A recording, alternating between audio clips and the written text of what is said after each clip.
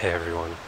In this video, I want to share with you a piece of dating advice, which is focus on whether or not you like the other person rather than trying to figure out whether or not they like you. So many of us do this the opposite way when dating, and interestingly enough, when you're focused wholly on whether or not the other person likes you, it comes off incredibly needy. You have the potential to push the other person away because you're only focused on them and how they view you.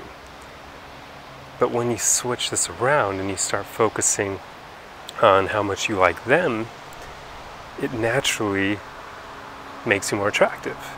But beyond that, and the main reason for doing this, is it helps you figure out whether or not you actually even like this other person. Too many of us never take the time to question that.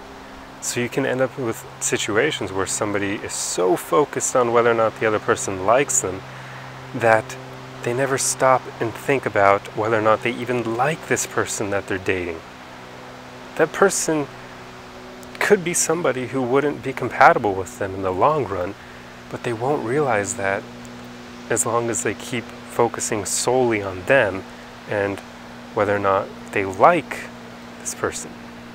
So it's important to actually take the time to figure out whether or not you even like the person that you're dating. It's really important. The fact that it makes you more attractive is just an added benefit. You shouldn't do it solely for that. But naturally, when you take the focus off of that person and off of receiving validation from them, it makes you more attractive because you're no longer concerned over whether or not they like you. And when you get to that point, it means you're more likely to be your authentic self because you're not going to care if they reject the real you. And it also has added benefit of just getting rid of neediness. Because when we're focused solely on whether the other person likes us, it's going to make us be very needy. We're going to say and do things that we believe is going to make the other person like us. In a way, we're going to be inauthentic and dishonest with them and we're constantly going to be people pleasing, but only to them. Those are very unattractive qualities. But when you flip the script and you start focusing more on how much you like them, it changes everything.